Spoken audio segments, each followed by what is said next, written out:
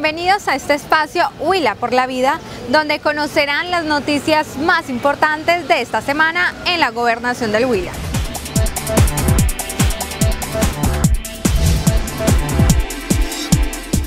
Son 2.818 familias del Huila que se benefician del convenio Mejoramiento y Vivienda Nueva que firmó el gobernador del Huila con 20 mandatarios de la región. La gobernación del Huila avanza en el cumplimiento de las metas del cuatrienio en la entrega de subsidios de vivienda nueva y mejoramientos de vivienda. Por esta razón se firmó un paquete de convenios con 20 municipios del Huila. Casi 4.500 soluciones de vivienda entre vivienda nueva, vivienda, eh, mejoramiento de vivienda entre urbano y rural. Con esto ya estamos cumpliendo las metas del Plan Departamental de Desarrollo y seguramente vamos a ir más allá eh, con todo este trabajo que se viene haciendo. Neiva, Acevedo, Aipe, El Agrado, Campo Alegre, Carzón, Gigante, Guadalupe, Obo, Iquira, La Argentina, Nátaga, Oporapa, Salado Blanco, San Agustín, Suaza, Tarqui, Tello, Timaná y Villavieja fueron los beneficiados. El valor total de los convenios de mejoramiento de vivienda y vivienda nueva es de 22 mil millones. Por otro lado, el mandatario de los huilenses esta semana presentó a su nuevo equipo de trabajo de gobierno que viene con grandes retos y proyectos para el desarrollo del Huila. Ante el gobernador del Huila, Luis Enrique Duzán López, tomaron posesión los primeros cuatro funcionarios que hacen parte del proceso de oxigenación del gabinete departamental. Son ajustes propios del ejercicio del gobierno. Eh, con todos hemos trabajado muy bien y yo sé que esta oxigenación nos va a permitir imprimir una gran dinámica en esta siguiente etapa del gobierno. Se trata de Adriana Alarcón Rodríguez como directora del Departamento Administrativo Jurídico, el abogado Andrés Mauricio Muñoz como secretario de Hacienda, Lisa Adriana Carvajal Franco como secretaria general y Milena Oliveros Crespo como secretaria de Educación.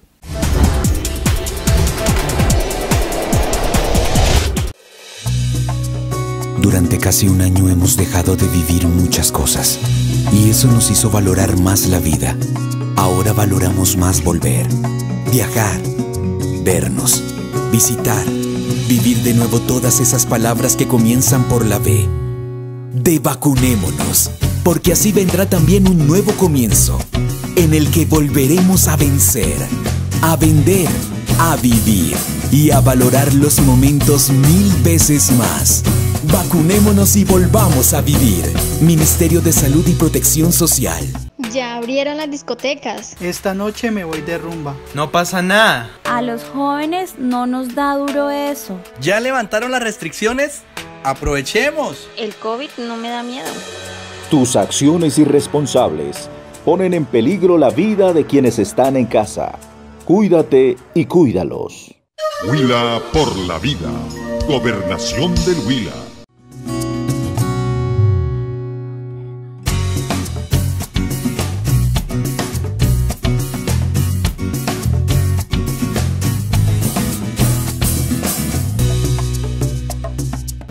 Noticias, se activó el Comité Departamental de Seguimiento Electoral con miras a las elecciones del municipio del Agrado. Esta semana hubo un importante encuentro entre el gobierno departamental y la Registraduría Nacional del Estado Civil. La bioseguridad ante el riesgo de la pandemia fue el tema central del Comité Departamental de Seguimiento Electoral que se activó para las elecciones atípicas de alcalde en el municipio del Agrado el próximo 9 de mayo. Eh, se revisaron los temas relacionados con la comisión, se instaló y se dejaron tareas eh, pues pendientes para ejecutar relacionadas con los elementos de bioseguridad necesarios para que se realicen las elecciones, las condiciones que deben tener en el municipio para la misma, las cuales eh, estaremos informando, por supuesto, a el municipio para que se presenten dichas garantías en la elección atípica que se va a tener el 9 de mayo del presente año. Recordemos que se trata de un municipio que tiene 16 mesas de votación, eh, policía muy atenta a que se cumplan eh, las, decisiones que se toman en el seno de la Comisión Municipal, de, de Electoral Municipal. Eh, el señor alcalde también comprometido con el apoyo en los elementos de bioseguridad. Digamos que hay, una muy, hay un buen ambiente interinstitucional que nos permite decir que con la ayuda de Dios ese proceso sale avante. El delegado de la registraduría informó que en este municipio se instalaron 16 mesas de votación y se inscribieron dos candidatos con los que ya se firmó un pacto de no agresión. En nuestro espacio, pregúntele a la gobernación del Huila, la inquietud surge de un ciudadano de Neiva.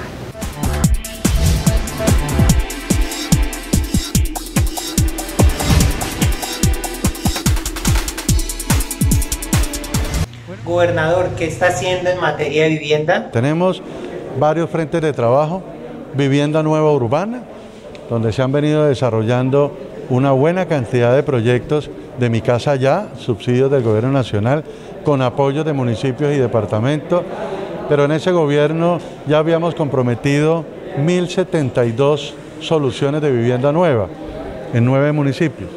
En esta oportunidad agregamos dos municipios más en ese programa Vivienda Nueva Urbana.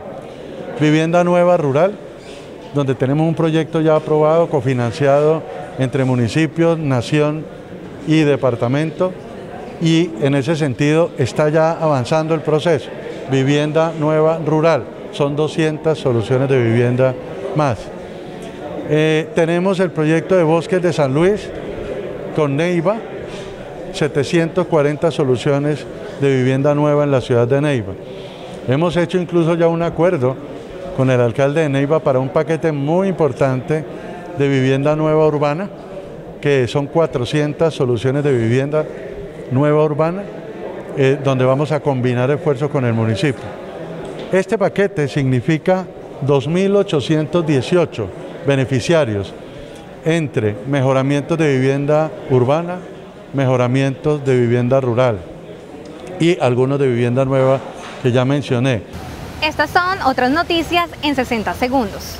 Esta semana que viene se conocerá el nombre de los ganadores del concurso Diseña con nosotros la casa de tus sueños que lideró Huila en el marco del homenaje a los niños y niñas en el mes de abril.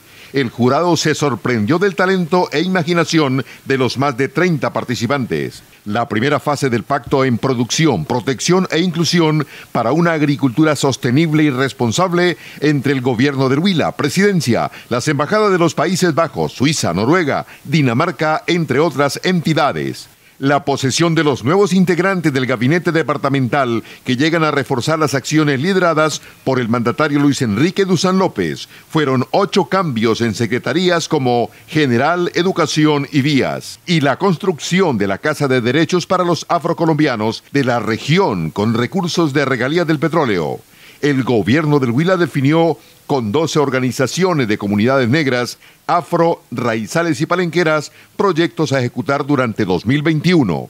Hemos llegado al final de este espacio Huila por la Vida. Recuerden visitar nuestra página web y redes oficiales. Con desarrollo, Huila Crece.